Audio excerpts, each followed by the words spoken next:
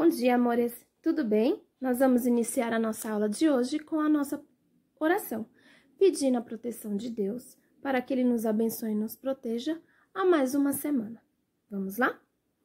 Pai nosso que estás nos céus, santificado seja o vosso nome, venha a nós o vosso reino, seja feita a vossa vontade, assim na terra como nos céus. O pão nosso de cada dia nos dai hoje, perdoai as nossas ofensas, assim como nós perdoamos a quem nos tem ofendido, e não nos deixeis cair em tentação, mas livrai-nos do mal. Amém.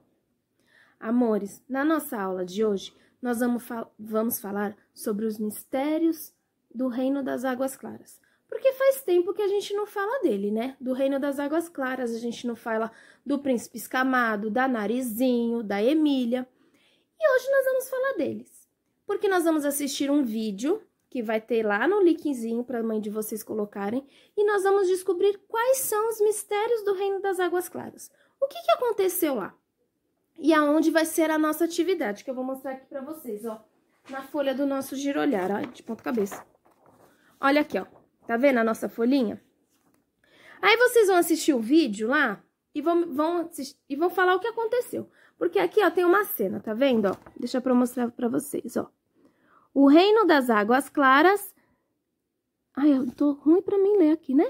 O reino das águas claras está ficando escuro. Deixa eu fazer assim que é mais fácil, né? Chegamos a tempo. O príncipe, o príncipe escamado está em audiência e pede a participação de todas as crianças para resolver um mistério. Qual foi o mistério? É o que tá no vídeo, que vocês vão me falar. E aí, aqui, ó, vocês vão ter que compor esta cena. Ou seja, teve audiência lá com o príncipe e vocês vão ter que me falar o que aconteceu. Então, vocês vão desenhar aqui. Pro, mas eu não tenho impressora, né? Tá acontecendo, né? Na minha casa não tem impressora. Todas essas coisas. Mas aí a Pro falou, colocou lá no slide, que vocês podem fazer numa folha sulfite à parte. Que nós vamos poder, depois eu vou grampear no girolhar de vocês e vai estar como lição feita. Combinado?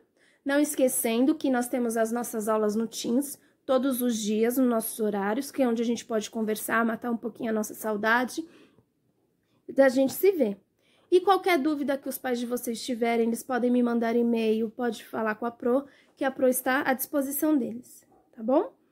Fiquem com Deus e até a próxima aula. Um beijo!